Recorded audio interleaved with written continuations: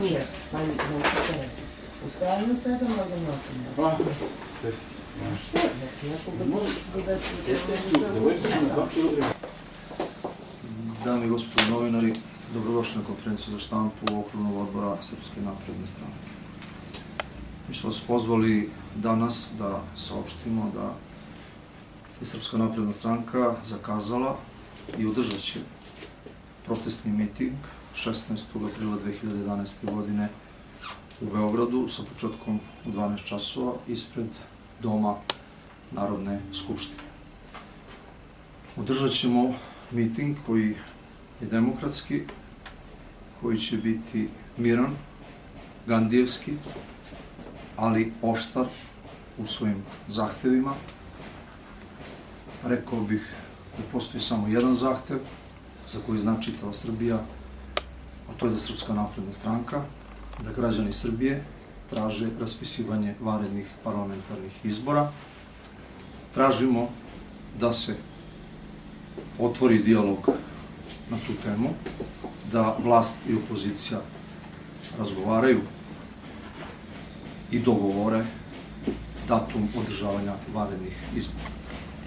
I vrapcima na grani u Srbiji je potpuno jasno da varednih parlamentarnih izbora mora da bude, da su se stekli uslovi, za to izgleda da je svima jasno, sem predstavnicima vladajućih stranaka i predsedniku Srbije, gospodinu Borisu Tadiću.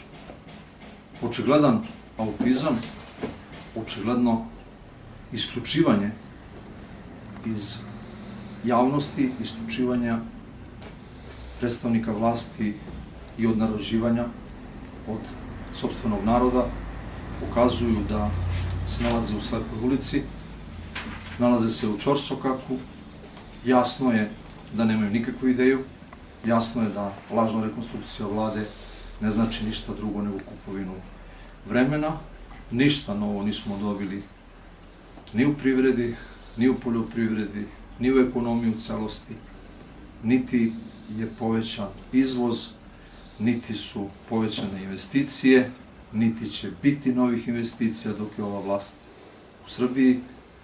Rekli smo i ostajemo jasni pri tome, Telekom ne sme da se proda, ne sme da se proda pod ovim uslovima i ostavka direktora Telekoma samo potvrđuje da se na njega vrše pritisci, da se pokušava u predizbornoj godini da proda nešto što je najbolje u Srbiji, podsjećam, dobar domaćin nikad ne prodaje svoju najbolju njivu, sem kad je u nuždi, odnosno kad je za zdravlje.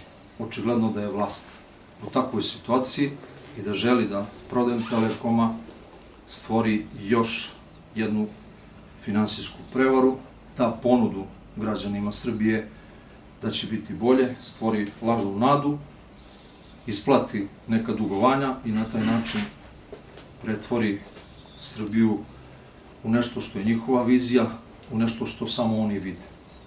Predstavnici vlasti pričaju da se iz dana u dan živi sve bolje, da nam čak i u ovom trenutku nije tako loše, da će biti još bolje svakoga dana, međutim, to su ocene vapajućeg u pustinji, to su priče za decu, a ja sam ubeđen da ni deca više ne veruju u takve njihove priče koje služe samo zato da se još koji dan ostane na, ostane na vlasti, da se još neka kolubara, još neko javno preduzeće otme, preotme, da se prime još neke pare za usluge koje su obećane i nažalost tome je došao kraj, to su građani Srbije prepoznali i jasno ćemo na mitingu 16. aprila 2011. godine to reći vlastima i tražiti i nećemo se razilaziti do onog momenta dok nam se ne kaže da će biti vanrednih izbora.